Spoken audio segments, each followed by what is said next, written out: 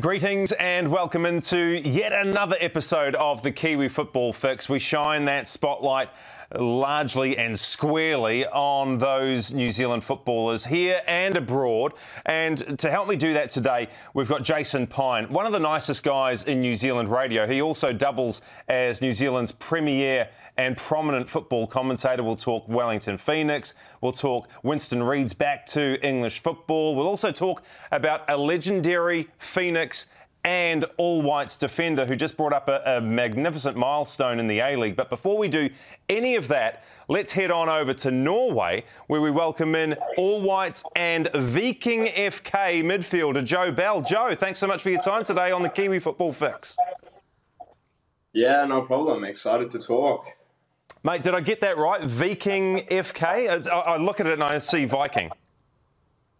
No, you did. You got it right. I was I was also pronouncing it Viking for a long time, but uh, yeah, the Norwegians quickly corrected me. Right. It's Viking FK, so yeah, you got it. Okay, so now we know for sure 100% Viking FK. Joe, you're experiencing yeah. your first ever Norwegian winter. How is it treating you? Uh, yeah, it's it's been tough. It's very cold here. Um, I did grow up in the South Island, so I was a little bit used to it, but you know, the past few weeks it's been as cold as negative 10. Oh. So, yeah, pretty, pretty, pretty brutal, but yeah, it's still a beautiful place and, and actually quite similar to New Zealand with the topography. You played all but one game in the uh, in the season. I think it was 30 games long, and you played 29. Scored a couple of goals. In your own words, how did you rate your performance and the team's? Yeah, it was good. Uh, in terms of the team, we had a bit of a tough start, but it gradually got better through the year. Um, for myself, yeah, I was I was happy. I mean, the biggest thing I wanted to get out of out of coming to Norway was was a good amount of game time. So yeah, I think I achieved that. You know, in the first season, I think there's still uh, a lot more I could do this season, and we've actually had uh, our head coach, our head coach step down following the end of the season, and we've got two new coaches come in. So uh, yeah, a few few changes in the team and and slightly in the game style as well. So yeah, definitely looking forward to to what we can do this season. What does a, a, change in coach mean for you? Because sometimes in, in sport it means that they come in with a, a broom and, and, sweep the place clean. Uh, are you assured of the, the next two years of your deal? Yeah, yeah, yeah. It's definitely complicated in that side of football, but uh, yeah, it was lucky for me. It was actually the uh, the two assistant coaches that actually brought me in from the US. They played a, a big role in getting me across. They they are the ones that have been promoted to the head coach positions. We actually have two. So uh, yeah, for me, I think it's a good thing. But obviously, you know, football's a football's a fickle game. So yeah, just trying to stick with it and stay focused through this preseason, then hopefully, yeah, have a good season. If you had to be highly critical of your own performance for Viking through the first season, how would you assess your performance? Yeah, I think uh, the biggest weakness, at least that I'm focusing on, is just the more defensive awareness in the midfield. Um, I tend to get a bit focused on what I can do with the ball and, and trying to get onto the ball. And I think uh, you know, sometimes I, I lose my patience and focusing on the defensive side. So I think when when you play better teams and, and we played a, a playoff game for the Europa League last season, I think when you play teams of that quality, obviously you have the ball a little bit less. So you need to make sure that your game's balanced and you're an all-rounder player. So yeah, at the moment, that's what I'm focusing on. So is that more organisational, like dragging people here and there, and, and, and just minding what what you're up to as well, communication as well?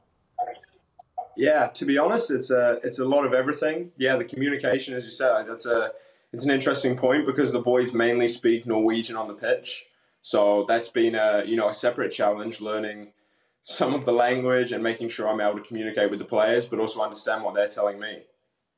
How difficult is Norwegian to pick up? Uh, it's not easy, but I'm there don't don't ask me to quote anything because uh, I won't. I don't think I'll uh, do very well, but yeah, I'm definitely getting there. You mentioned the Europa League tie with Aberdeen. Uh, you, you, went down 2 0, mm. but I think the team put in a pretty good account of itself. Uh, uh, what did that tell you about how far away Norwegian football is from the rest of the European competitions? Yeah, I think it was a it was a really interesting game for me. Obviously, we kind of hoped the result would go better, but yeah, just to gauge how the team performed in, in those kind of settings, and you know, I think it just further gives me a better understanding of European football. But yeah, the team we actually played okay, and I think the game could have went either way. So you know, I think it's quite a it's a good standout for Norwegian football and the ability to compete in those games. I mean, there's teams such as Bodo Glimt who uh, won the league last season, who took AC Milan to uh, you know the the 90th minute before unfortunately losing, but yeah, the, there's quite a few teams that are quite strong and can perform in Europe. So I think it's a really good uh, opportunity for young players, and it's a strong enough league that it gets watched by other European clubs as well. How did you actually come to reside in Norway, Joe? Because uh, a few years at the University of Virginia, I, I would have thought that maybe the logical progression for you would have been into the MLS. There was an opportunity to, to enter the draft,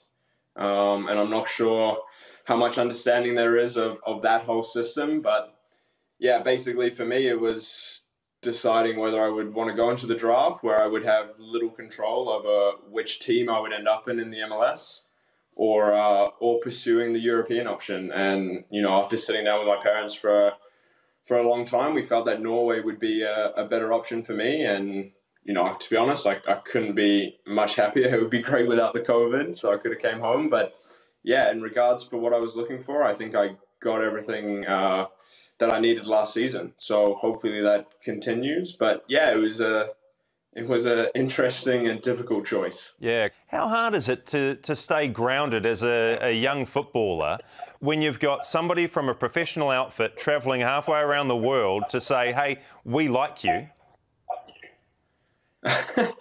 to be honest, in America, it's not too hard because uh, you know, you spend you spend most of your days with the the basketball team on the at the university or even the American football team, and you know those players are walking into multi-million dollar contracts. So yeah, it's not too hard. Fair enough. Fair enough. Look, 2020, I think uh, it, it, was going to be a big year for you, Joe. Uh, you, as you said, you'd come out of the uh, the under 20s World Cup and impressed there. You'd made your debut for the, the fully fledged All Whites against Ireland and Lithuania, and football commentators were really impressed with what you did there. And 2020 was going to be all about the Olympics. It was going to be all about Belgium. It was going to be all about England at Wembley, and then all of that was taken away. So, how how did you cope with, I suppose, the absence of the football and that loss? Yeah, yeah, it was tough. It was something. Obviously, the Olympics uh, was really excited for, and yeah, as you mentioned, the England game at Wembley. Wow, that would have been a, uh, an incredible experience for everyone involved. Um, so yeah, it was tough, but I just tried to to keep everything in perspective, and I think, you know, there were definitely people worse off and and having things taken away from them that were were far worse than what was happening to me. So I just tried to stay focused on, you know, the football at hand and and stay focused on the season and you know kind of let the the time go by. Uh, and yeah, hopefully things are looking more promising for the future, and especially for you know, getting back as an international team and getting some more games under our belts. And you know, it's hard to keep track of all the all the updates, but yeah, hopefully the Olympics goes forth this year um, because I think you know, coming off the the twenties and the national team experience, uh, wow, a couple of years ago now. Uh, yeah, I think it's something that you know personally I'm really excited for, but also I think the the team should be as well. Do you hold out much hope for the Olympics? Because if reports are to be believed, you've got government insiders saying there's no way in the world that this thing can go ahead. What, what say you? You must be uh, in WhatsApp groups with your All Whites teammates or your, your, your under 23s teammates, and uh, you must have a, uh, an inkling as to whether it's going to go ahead or not. Uh, to be honest, I really do not. Um, I'm I'm no professional at understanding this situation, so yeah, I'm really not sure. Obviously, fingers crossed, but you got to do what's what's safe and you know make sure that we follow all the the protocols to you know, go ahead and make sure it's a it's a suitable, you know, opportunity to to do it. So yeah, I, I really don't know, but yeah, deep down I really hope so. But yeah, safety first. Yep, safety first. We'll keep our fingers crossed. Listen, the, the All Whites debut performance, eh, eh, how, how did that feel? Getting out there, donning the All Whites shirt and, and playing with some of our great names presently? Wow, yeah, that was a it was a huge honour. Firstly, um, yeah, you kind of you kind of do get a little bit overwhelmed, but when you get in the moment, everything kind of you know seeps away, and you're, you're just playing football again. So yeah, it was it was quite. Uh, you do have to pinch yourself when you're playing in the midfield and you've got Winston Reid behind you. So yeah, it was a it was a fantastic experience, and you know, hopefully, hopefully a few more in the future. I'm not going to mince my words here, Joe. You did receive rave reviews for your performances. Uh, like, how, how does that make you feel, knowing that so early in your All Whites career you looked so comfortable to so many? Okay, that's nice. Maybe I need to read more of the reviews on myself. um, but no, yeah, yeah, it was. Uh, you know, it's promising. I think you know with with Danny as coach, he's really pushing. Uh, you know the play style where we want to move the ball and and compete with the top teams and. He's giving a lot of young players a chance, and I think there's a lot of quality, uh, as we showed with the players in the U20s. So, uh, yeah, it was obviously nice to have what I thought, yeah, okay, maybe it was a good game. I think there's there's better to come in the future, and I think yeah, the team's results will come better as well. But yeah, I think just in that moment, it was a it was a fantastic opportunity, and I just tried to play normal football. So I think you know we're starting to build more of an identity, and you know, unfortunately, as you said, the the COVID situation has interrupted that, but there's been a lot of work going on in the background to keep us connected and, and keep building on that. So hopefully when when we do get back together, it's only going to get better. What is it about young New Zealand midfielders at the moment? I feel like there must be something in the water or, or something to that effect because there's yourself playing in Norway, you've got Sarpreet Singh doing great things, Ryan Thomas. All of a yeah. sudden, we've got a, a, whole bunch of guys, young guys, who are really comfortable on the football. It's almost like you crave the ball and you don't want to get rid of it. Why all of a sudden have we got this um, outstanding crop of comfortable on the ball footballers?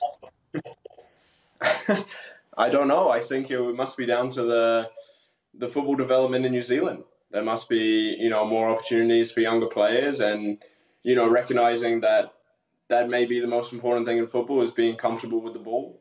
Um, so I also think it comes from uh, the support and the confidence from the coaches on the sideline. So yeah, I think maybe lucky enough, there's some there's some fantastic coaches in New Zealand that have been you know molding these players, and you know it's nice to get a badge through now, but hopefully there's there's many more to come. Mm. My next guest is a, a, guy called Jason Pine, who you may have heard of. He, he calls the odd football game every now and then. Uh, he has yeah. gone on record as to say that you will one day be the All Whites full time skipper. What does a comment like that mean to you? Wow, that's that's incredibly nice from Piney. Obviously, I know him quite well, and he's you know a fantastic bloke. So yeah, that, that does mean a lot. That does mean a lot, and it's definitely uh, an aspiration of mine. I think there's many many more steps to take before that becomes a reality. But wow, yeah, it's a very nice comment. As long as you're not barking out orders. next in, time I see him. Yeah, as long as you're not barking out orders in Norwegian, Joe. no, my Norwegian won't get that good. hey, so what does 2021 look like for you? A couple of months away from the start of the Norwegian League, and then I'm assuming at some point we're going to have some World Cup qualifiers as well. Yeah, hopefully. So, yeah, we've just started preseason now. So, as you said, yeah, we're a couple of months away from the start of the Norwegian season, and then, yeah, hopefully, obviously, it's you know it's complicated, but you know, there's plans for, you know, the international games and then, as you said, the World Cup qualifiers. So I think it could be a busy year. Um, yeah, I think with the COVID situation, you do just have to focus on, you know, only a couple of weeks ahead of yourself. So at the moment, that's preseason, just making sure I'm fit and and ready to get into the Norwegian season. Yeah, and stay warm over there in those minus 10 degree temperatures, mate. Stay indoors and I'll crank the heating. yeah, I'm trying my best. Joe, an absolute pleasure to catch up with you here on the Kiwi Football Fix. Go well over there, and uh, yeah, I hope to see you in the white of the All Whites again soon. Cheers for your time, pal. Uh, thanks, mate. Yeah, appreciate it. Stay safe. Now, look, there's a guy who I know, uh, and you know he, he, works in radio, does a little bit of football commentary, but uh, in radio terms, he's on the podium for nicest guys around.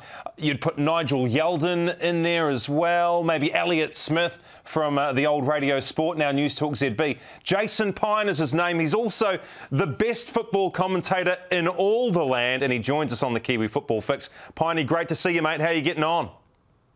Really good. Well, after an intro like that, I, I, can hardly be anything else. I'll try my best not to uh, stuff that, uh, you know, those credentials up over the next five or six minutes. But lovely to be here to talk some football with you, Goran. Yeah, as a footnote, as an aside, I was actually the worst person in radio. So, uh, you know, it's kind of like uh, we've got both ends of the spectrum covered. Piney, uh, we, we just had a, a wonderful guest on, Joe Bell out of Norway, who you've said some really kind things about in the past, saying that he is a future skipper of the All Whites.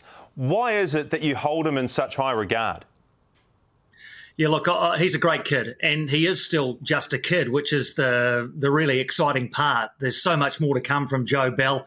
Oddly enough, Goran, I was thinking about this, and when Joe Bell was coming through the Wellington Phoenix Academy system, it wasn't obvious that he would be the one that might jump out of that system and really make it, you know, as a as a professional footballer. He was a solid enough player, but he wasn't an eye-catching player never really got close to playing for the first team. But then went off to the United States, and obviously something happened over there, and he just became, well, a couple of things. Technically, a very good player, and second of all, a leader.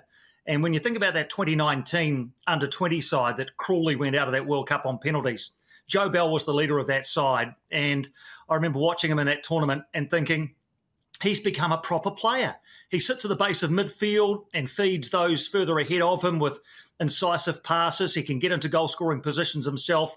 He's obviously very highly regarded by his teammates and by the coaching staff. I know Danny Hay has big raps on Joe Bell as well. So, look, I wouldn't be at all surprised to see him play a decade or more in the All Whites. And I certainly wouldn't be at all surprised. In fact, I'd expect him to wear that armband on many, many occasions. Let's talk about football closer to home for now, though, Piney. Your beloved, my beloved black and yellow, the Wellington Phoenix. They finally got a win in the A League, but man, it was an ugly win. This is what happens sometimes in football, though, right? You play your best football and you lose. You play your worst football and you get a win.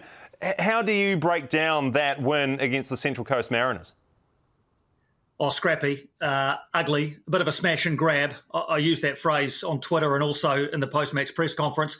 Uh, Ufuk Talay took a bit of umbrage at it. He didn't think it was a smash and grab. Look, I think the Mariners had by far the better of that second half. Uh, Wellington had played well in the first half and were actually, um, you know, it was disappointing to see them concede just before half time.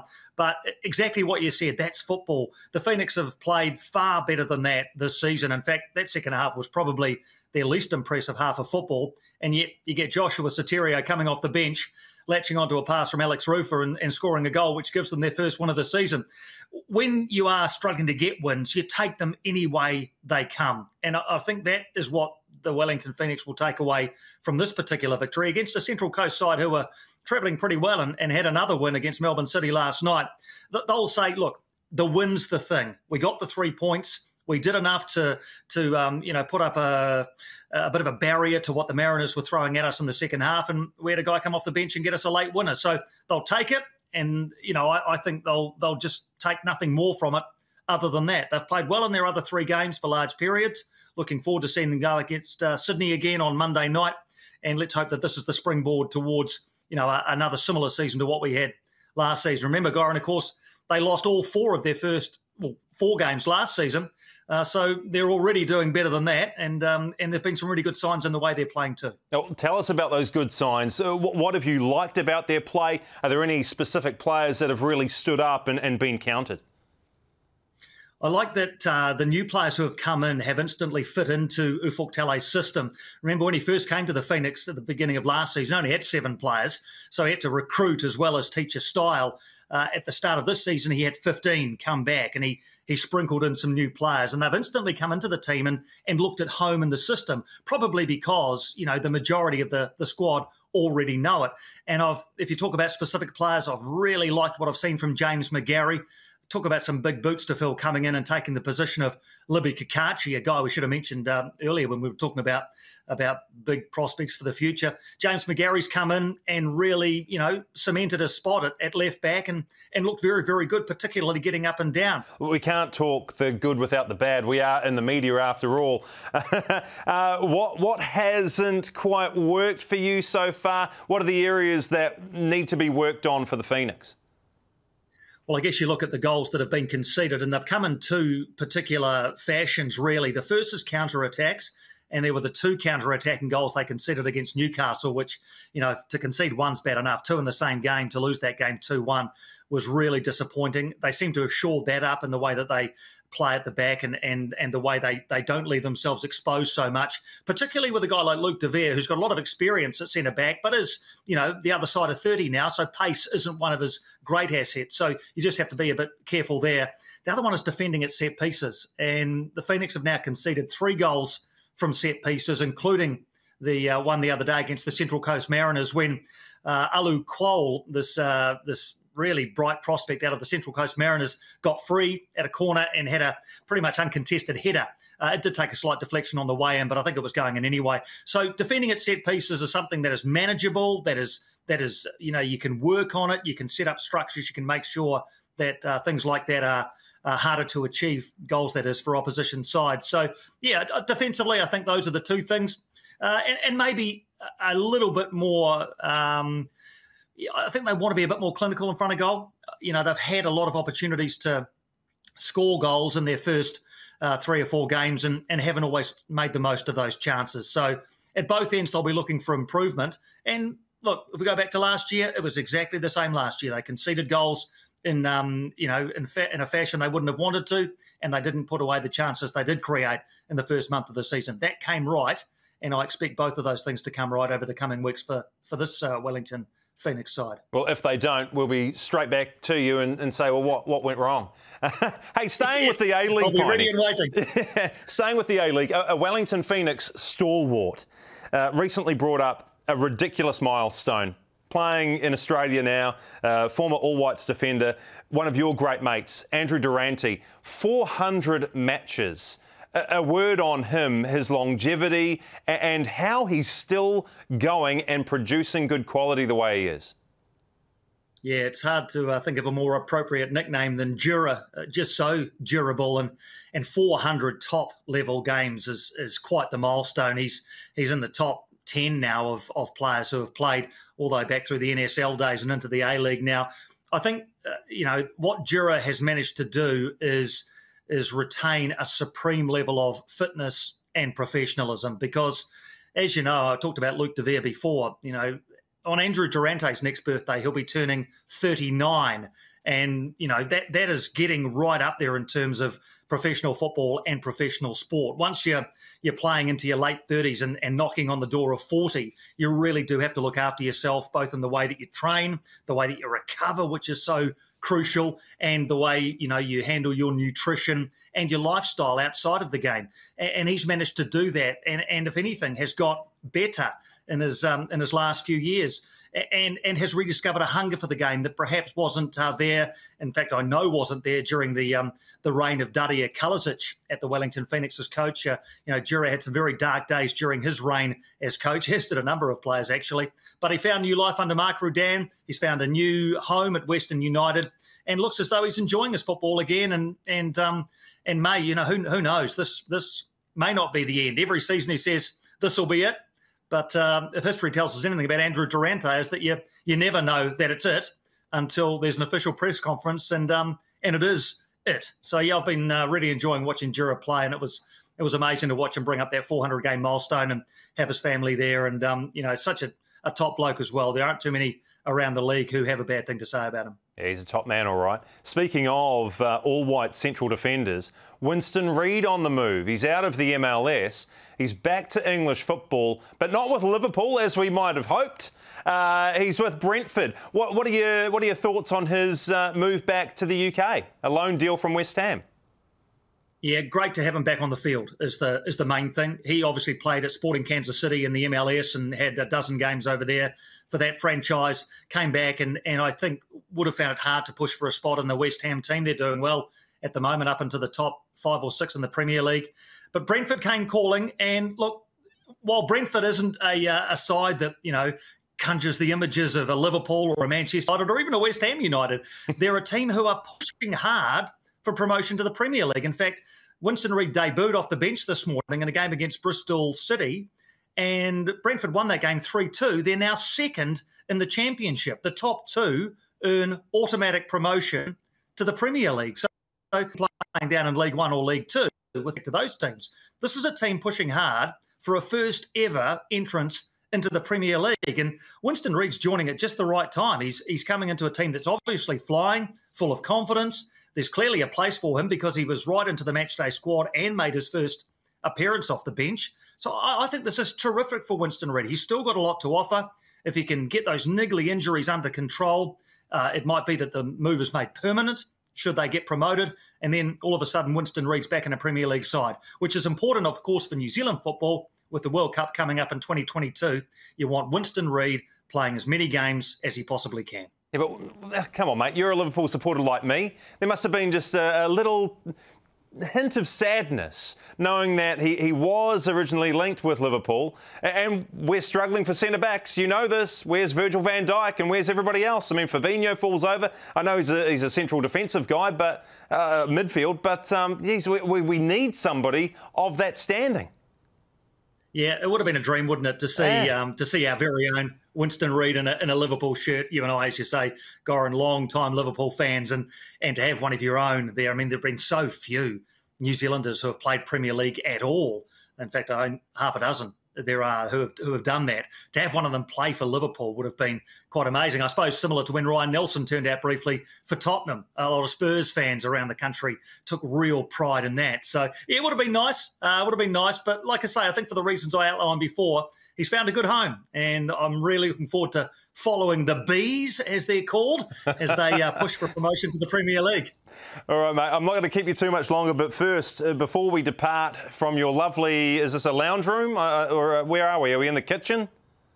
No, this is the uh, this is the uh, the Pine Lounge here. Yeah, okay. I've um, I've managed to find a quiet space. Kids are back at school, which is handy. Good, good. So before we, we leave you in your lounge uh, and uh, we move on with our day, we need to talk about the ISPS Handa Men's Premiership. Massive game coming up this weekend. It's Auckland City against Team Wellington, who suffered their first defeat of the competition last weekend. How do you see this one going? Well, I think Auckland City have to be favourites, and and Team Wellington, I think, apart from one or two occasions, and I've seen them play a lot this season, haven't really delivered on their potential. They have obviously a very good roster. They were unbeaten up until last week, but they'd had a heck of a lot of draws, and in a couple of those matches had actually been quite lucky not to be on the losing end.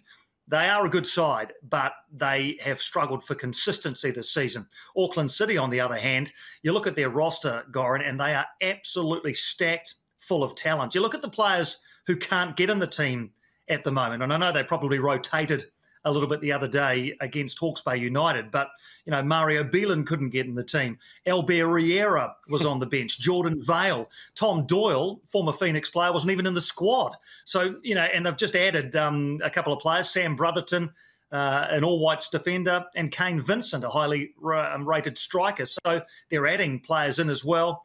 Forget that, you know, Emiliano Tade is injured. So they're so deep in terms of their squad they very rarely lose at Kiwitea Street. They've got a good record historically against Team Wellington, and they know that if they win on Sunday, that they are pretty much guaranteed a top two spot and therefore a home semi-final. Having said that, Team Wellington know that a loss might knock them out of the top two because Eastern Suburbs only two points behind. They play Waitakere on Saturday and would jump ahead of the Team Wellington side with a win there uh, until Sunday at least. So there's a bit on the line now with four regular season games to go. You want to be in that top two to host a semi final. And uh, look, Team Wellington will be very disappointed with the loss to Waitakere. One thing I'll say, Goran, they did it without uh, their their talisman, Mario Barcia, who is the beating heart of this Team Wellington side, so integral to what they do. He missed the game last week through yellow card uh, accumulation. He'll be back on Sunday, and I would expect if Team Wellington are to turn things around, that Mario Barcia would be right at the heart of it. Ah, there's no chance against my pal Jose Figueira's men. Embarrassment of riches, as you've outlined. So they're screwed, Piney. They're absolutely screwed, Team Wellington. But you aren't. You are an absolute legend. And I thank you very much for joining us on the Kiwi Football Fix. I think just further enhancing those credentials as one of the nicest men in New Zealand media. Well, it's been lovely to be here, and uh, look, I'll uh, I'll take on board what you say about Auckland City, and let's have a, uh, a text conversation around six o'clock on Sunday evening, shall we? Look forward to it, Jason. A pleasure as always, mate, and I look forward to your company again soon here on the Kiwi Football Fix. Tom Mangoran, thanks, mate.